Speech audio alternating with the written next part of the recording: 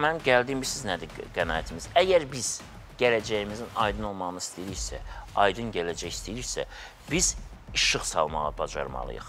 Və bu işıq açıq, aydın işıq olmalı və bu işıqdan hamının xəbəri olmalı. Çox təəssüf ki, bax biz işıq salmırıq, işıqlı adamlar işıq salmırlar. Öz işıqlarını ya paxıllıqdanmı, ya bilimsizlikdənmi yaymırlar, müxtəlif rəngli işıqlar düşür onların üzərində. Həmən o dediyiniz o qərbin rəngi düşür, həmən e, o dediyimiz istəmədiyimiz şərqin rəngi düşür. Heç də e, boşluqdan heç kim e, belə deyək, qırağa durmayacaq, istifadə edəcək, ciddi meydandır. Biz aydın işığı çatdırmağa bacarmalıyıq. Mən elə belə demədim ki, Azərbaycanda böyük maarifçilik ənənəsi olubdur. Çox az xalqın tarixində var bu maarifçilik ənənəsi.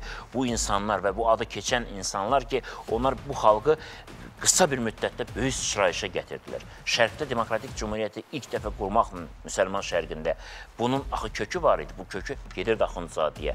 Bunun kökü gedirdi ilk milli mətbuatımıza, milli teatrımıza və s. və ilaxır. Bu adamlar boş adamlar deyildi və bunlar bu əzabkeşliklə, bu zəhmətlə bütün bunları yaratdılar və nəticəsi cümhuriyyət oldu. Hə, az yaşadı, amma zaman keçdi, bərpa elədik və deməyə sözümüz oldu ki, biz o cümhuriyyətin varisiyik.